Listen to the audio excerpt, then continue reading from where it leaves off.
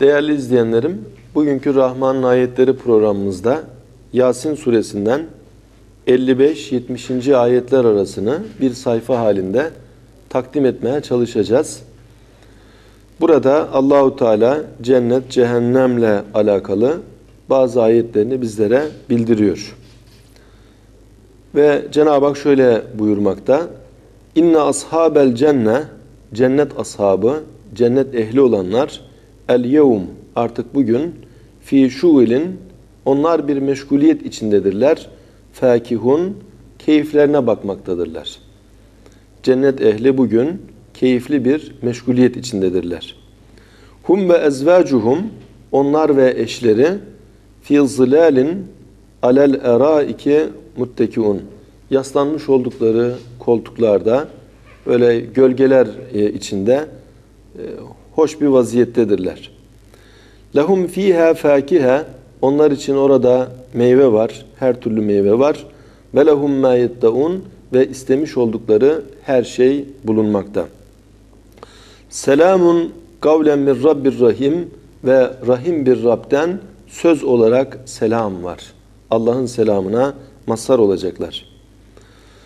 Buraya kadar cennetle alakalıydı. Bundan sonra ehli cehennemle alakalı bir durumu Cenab-ı Hak bildiriyor. وَمْتَازُ الْيَوْمَ eyyuhel mücrimun Ey mücrimler! Ey günahı kendine adet haline getiren ve devamlı günah işleyerek e, hayatını karartan kimseler artık bugün ayrılın.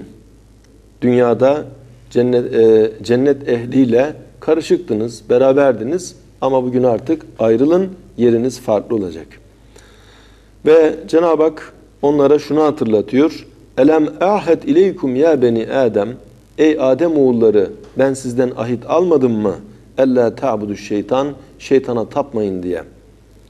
İnnehu lekum aduvun mubin. O şeytan sizin için apaçık bir düşmandır. Ve en ya'buduni ve bana ibadet edin. Sadece bana ibadet edin. Hâzâ sıratun müstakim. İşte bu dosdoğru bir yoldur, sırat-ı müstakimdir. وَلَقَدْ اَضَلَّ مِنْكُمْ cibillen كَثِيرًا Andolsun ki şeytan çok nesilleri yoldan çıkardı. Sizin içinizden çok nesilleri yoldan çıkardı. Efelem tekunu taqilun Aklınızı kullanmıyor musunuz? Onların bu halinden ibret almadınız mı? Hâzihi cehennemulleti küntüm tuadun artık işte bu size vaat edilmiş olan cehennem. Islavhel yevme artık bugün ona girin bime küntüm tekfurun inkarınıza karşılık olarak. Yani cehennemi kabul etmiyordunuz. Böyle bir şeyin varlığına inanmıyordunuz. Allah'ı inkar ediyordunuz. Bu gibi küfür ve küfranınıza mukabil olarak haydi girin cehenneme. El yevme bugün nahtimu ala effahihim biz onların ağızlarını mühürleriz. Ve tükellimuna eydihim ama onların elleri bize konuşur. Ve teşhedü erculuhum ayakları şehadette bulunur. Bima kanu yeksibun neler yaptılarsa, neler kesbettilerse e, ayakları şehadette bulunur. Velev neşâ'u şayet dilersek le tamasna ala ayunihim biz onların gözlerini silme kör ederiz. Festabagus sırat ve yola e, gelirler. Fenna yubsirun ama nasıl görecekler? Velev neşâ'u lemesahnâhum alâ mekânetihim. Eğer istesek bulundukları yerde biz onları çok garip şekle çeviririz ve onları çarpık hale getiririz. Femastatâ'u mudiyen ve lâ yerci'un.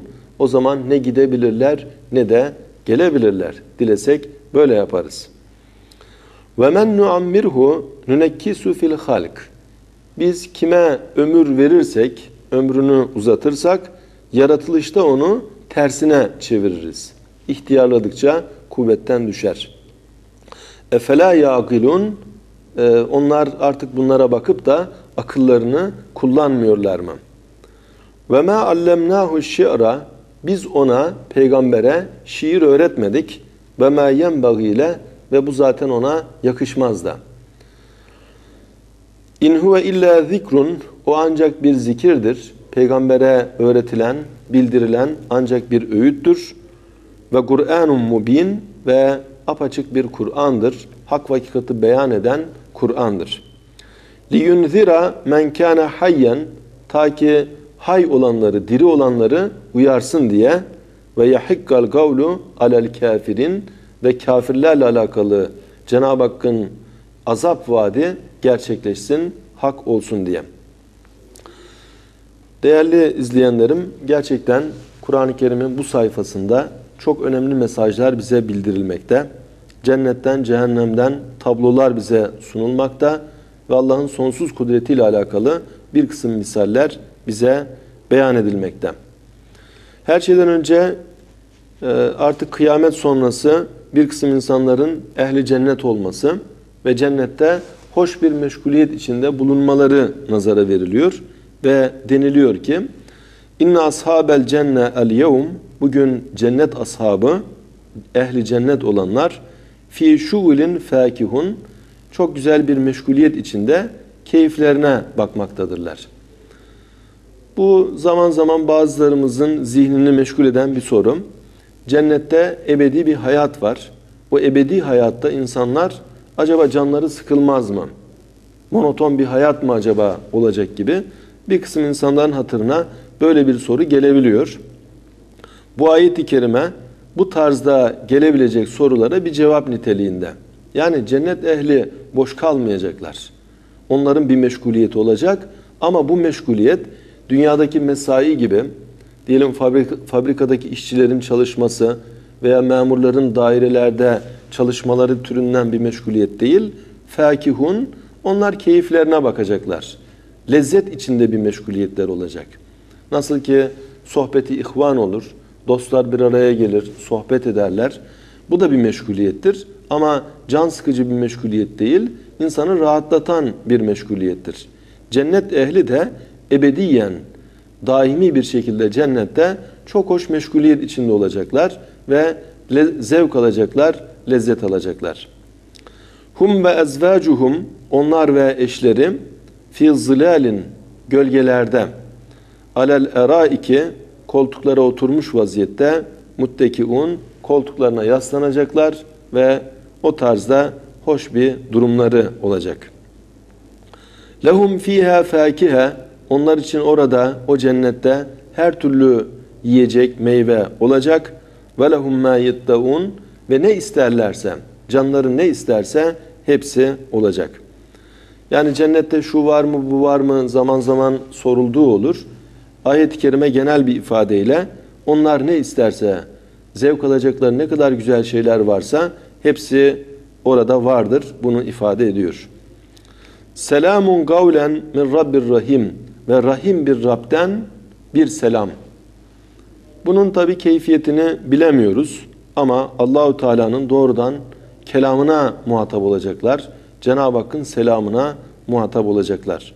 Söz olarak Cenab-ı Hak'tan selam duyacaklar, selamete erecekler. Ardından Allahü Teala madalyonun öbür yüzünü bize gösteriyor. Evet diğer alemde cennet var. Cennette böyle güzellikler var ama öbür alemde cehennem de var. İşte cehennem ehli cehenneme gönderileceği zaman Cenab-ı Hak şunu hatırlatıyor. وَمْتَازُ الْيَوْمَ eyyuhel mücrimun. Ey mücrimler, ey cürmü, günahı kendine adet edinen, devamlı Allah'a isyan eden kimseler. Artık bugün ayrılın. Bugün ayrılın denilmesi dünyada e, iman ehliyle küfür ehli aynı dünyada yaşıyorlar. Hatta bir kısmı aynı evde yaşıyor veya aynı dairede beraber bulunuyorlar. Beraber çalışıyorlar. Dünyada bunlar ayrılmış vaziyette değil. Karışık vaziyette ama diğer alemde cennet ehli cennete gönderilecek, cehennem ehli cehenneme gönderilecek ve artık bütün güzellikler cennette, bütün çirkinlikler cehennemde olacak. Bütün hayırlar cennette, bütün şerler cehennemde olacak. Bütün iyiler cennette, bütün kötüler cehennemde olacak. Elem ahad ileykum ya beni Adem. Ey Adem oğulları ben sizden söz almadım mı? Ella ta'budu şeytan, şeytana tapmayın diye. İnnehu lekum aduvun mubin. Şüphesiz o sizin için apaçık bir düşmandır. Bu da ilahi senaryonun tabiri caizse bir parçası. İnsanlar madem yeryüzünde imtihan edilecek, cennet veya cehenneme sonunda gönderilecek, bunun gerçekleşmesi için insanların imtihana tabi tutulması lazım. Bu da şeytanla oluyor. Bu noktada e, şeytanın yaratılması e, imtihanın bir parçasıdır. İmtihanın olması için gerekli bir durumdur. Ama ulemanın da dikkat çektiği gibi şerri yaratmak şer değil, şerri işlemek şerdir. Hatta şeytan insanın manevi ilerleyişine sebep olduğundan dolayı bunu doğrudan şer olarak görmek bile uygun değil. Yaratma noktasında şer yok. Ama kesp noktasında, şerri işleme noktasında mesuliyet insanlara ait. Ve Cenab-ı Hak onun apaçık bir düşman olduğunu bildiriyor. Ona uymayın. Bunu bize hatırlatıyor. Ve eni'buduni ve bana ibadet edin. Hâzâ sıratun müstakim. İşte bu dost doğru bir yoldur. Ve lagat edalle minküm cibillen kethira. Andolsun ki o şeytan çok nesilleri yoldan çıkardı.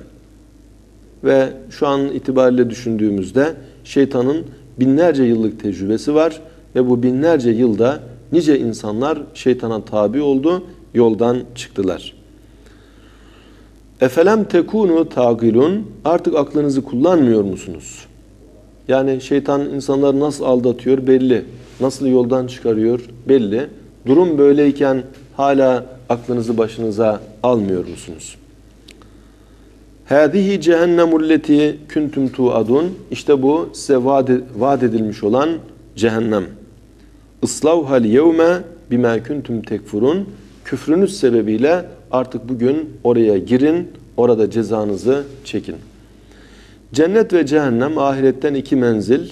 Cennet mükafat yeri, cehennem ise ceza yeri. Dünyada nasıl ki e, hapishaneler de oluyor, e, suç işleyenler hapishanede cezalandırılıyor. Allahu Teala'nın aynı zamanda hapishane görevi gören bir ceza mahalli olarak e, cehennem var ve inkar edenler inkarlarının karşılığı olarak ebedi öyle bir ceza içinde olacaklar. El yevme nahtimu ala effahihim bugün biz on e, biz onların ağızlarını mühürleriz ve tükellimuna eydihim ve onların elleri bize konuşur ve teşhedü erculuhum ve ayakları şehadet eder. Bima kanu yeksibun yaptıkları şeyleri kazandıkları kesbettikleri şeyleri e, ayakları şehadet eder e, elleri bize konuşur bu da Allahu Teala'nın e, gerçekten diğer alemde hesabı hesaba çekmesi ve insanları sorgulamasıyla alakalı dikkat çekici bir durum. Yani insanın illa ağzının konuşmasına lüzum yok. Evet ağız konuşur ama dili konuşturan Allah, dile konuşma kabiliyeti veren Allah, dil bir et parçasıdır. Diğer alemde eli de konuşturacak. Diğer alemde ayaklara da şehadet ettirecek ve böylece bir insanın e, yalanlama imkanı, hayır ben yapmadım, ben etmedim deme imkanı olmayacak. Zaten insanın hafıza kayıtlarında yaptığı her şey var. Diğer aleme gidildiğinde o kayıtlar ortada. Meleklerin kaydı var. İnsanın yaptıkları zaten belirlenmiş. Bir de demek ki eller diyelim hırsızlık yapan bir el ben hırsızlık yaptım diye konuşacak. Ayak diyelim kötü yerlere gitmişse ben falan kötü yere gittim diye şehadette bulunacak. وَلَوْ نَشَاءُ Şayet dilersek لَطَمَسْنَا عَلَى اَعْيُنِهِمْ Biz onların gözlerini silme kör ederiz. Festabagus sırat o zaman yola gelirler ama feenna yubsirun nasıl görecekler? Yani Allah dilemiş olsa gözleri tümüyle e, düz hale getirir. İnsanın e, yüzünü düz bir hale getirir. Artık orada göz çukurları olmaz, gören bir göz olmaz. O zaman akılları başlarına gelir ama e, o durumda nasıl görecekler? وَلَوْ نَشَاءُ لَمَسَخْنَاهُمْ عَلَى مَكَانَتِهِمْ Şayet dilersek onları kendi yerlerinde e, insanın şu mükerrem halinden çıkarırız. Hayvan şekline veya çok çirkin hale getiririz. فَمَسْتَطَاءُ مُضِيًّا وَلَا يَرْجِعُونَ O çarpık halleriyle artık ne gidebilirler ne de dönebilirler. Bunlar Cenab-ı Hak eğer dilese şöyle de olur, böyle de olur. Bu, bunları nazara veren durumlar. وَمَنْ نُعَمِّرْهُ نُنَكِّسُ fil halk. Biz kime ömür verirsek, ömrünü uzatırsak, e, yaratılışta onu tersine çeviririz. Yani uzun ömürlü olan insanlar artık ihtiyarlık dönemine de geliyor. İhtiyarlık döneminde e, kuvvetten sonra zaafı yaşıyorlar. Yaşlı olan birisi artık çok zayıftır. Nasıl ki bebeklik döneminde zayıftı, bebeklik döneminde himayeye muhtaçtı. Ömrü uzun olan insanlar o e, ihtiyarlığın o zor döneminde e, yaratılış noktasında tersine çevriliyor ve kuvvetten sonra tekrar bir zaaf halini yaşamış oluyorlar. Efela yaqilun onlar buna bakıp da akıllarını kullanmıyorlar mı? Ve ma allemnahu şi'ra biz peygambere şiir öğretmedik. Ve ma yenbagile ve bu zaten ona yakışmaz da. Yani Kur'an-ı Kerim hakikatler manzumesidir. Şiirde biraz mübalağa daha çok söz konusudur. Şiirde hayal ön plandadır. Ama Kur'an-ı Kerim baştan sona hakikattır. Ve Kur'an-ı Kerim mübalağadan, abartıdan münezzehtir. Kur'an'da mübalağa yok, belagat vardır. Her şey en güzel bir şekilde ifade edilmiştir. Gerçi şiirde bir kelamdır. Güzeli güzel, çirkini çirkindir. İyisi iyi, kötüsü kötüdür. Ve şiirle bir meseleyi anlatmak hatırda daha kolay kalıcı olabilir, daha etkili olabilir. Ama bütün bunlara rağmen Kur'an-ı Kerim bir şiir kitabı değildir. Ve bu zaten yakışmazdı da diyor Cenab-ı Hak. Ve meryem ile bu ona yakışmazdı da. Neden? Çünkü şiirde hayal hakimdir. Şiirde hakikat e, daha geri plandadır. Şiirde mübalağalar, abartılı anlatımlar vardır. Ama Kur'an-ı Kerim bütün bu gibi noksanlardan, arızalardan münezzehtir. Kur'an-ı Kerim hakikatler manzumesidir. İn huve illa zikrun ve Kur'anun mubin ve o ancak bir zikirdir. Kur'an-ı Kerim bir öğüttür ve apaçık hakikatleri beyan eden bir kitaptır. Bir Kur'an'dır. Peki niçin gönderilmiş bu kitap? liyunzira men kana hayyen hay olanları uyarmak için. Hayatta olanları uyarmak, ikaz etmek için gönderilmiştir. Ve yahikkal gavlu alel kafirin ve kafirlere de Allah'ın ilahi azabı hak olması için. Yani Allahu Teala kitap da gönderiyor ki insanların Allah nezdinde bir özürleri olmasın. Yoksa diğer aleme gidildiğinde kafir olanlar diyebilirler ki ya Rabbi e biz senin emir ve yasaklarını bilmiyorduk.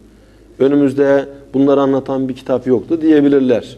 İnsanların böyle bir özrü olmaması için Allahu Teala e, kitap göndermiş. İşte bizlere Kur'an gönderilmiş. Daha önceki başka milletlere İncil gibi, Zebur gibi başka kitaplar gönderilmiş. Ta ki e, hay olanlar, hayat sahibi olanlar bundan istifade etsinler. Diriler, hayatta olanlar e, bununla uyarılsınlar. Gaflet uykusundan e, uyansınlar. Ve kabul etmeyenler de netice itibariyle ona göre cezasını çeksin, karşılığını görsün diye. Değerli izleyenlerim, Kur'an-ı Kur Kerim'de bugün ele aldığımız Yasin'in bu 5. E, sayfasının son ayetinde şunu da görüyoruz ki Kur'an-ı Kerim esas itibariyle hayatta olan kimselere hitap ediyor. Ölüler de onun okunmasından istifade eder, feyiz alırlar ve onlara sevap şeklinde bu yansır. Ruhları bundan istifade eder. Ama asıl itibariyle Kur'an-ı Kerim hayatta olan bizlere hitap etmektedir. Yasin'i ölenlerin ruhuna okuyabiliriz ama her şeyden önce kendi ruhumuzu ihmal etmemek gerekiyor. Ve Kur'an-ı Kerim anlaşılmak için gelmiştir. Sadece tilavetiyle teberrük olsun diye değil. Belki de bu gibi noktalardan dolayı merhum Mehmet Akif Kur'an-ı Kerim'e karşı durumumuzu anlatırken diyor ki ya açar bakarız Nazm-ı Celil'in yaprağına ya üfler geçeriz bir ölünün toprağına, inmemiştir hele Kur'an, bunu hakkıyla bilin, ne mezarlıkta okunmak ne de fal bakmak için. Yani Kur'an-ı Kerim fal bakmak için indirilen bir kitap değil. Kur'an-ı Kerim mezarlıkta okunmak için indirilen bir kitap da değil. Kur'an-ı Kerim'i mezarlıkta da okuyabiliriz. Dinen buna bir engel yok. Ama e, asıl itibariyle Kur'an-ı Kerim bize hitap ediyor. Hayatta olan insanlara hitap ediyor. Bu tarzda Kur'an-ı Kerim'i anlamayı Cenab-ı Hak hepimize nasip eylesin. Bir başka programımızda tekrar beraber olmak ümidiyle hepinize hayırlı günler, hayırlı geceler diliyorum.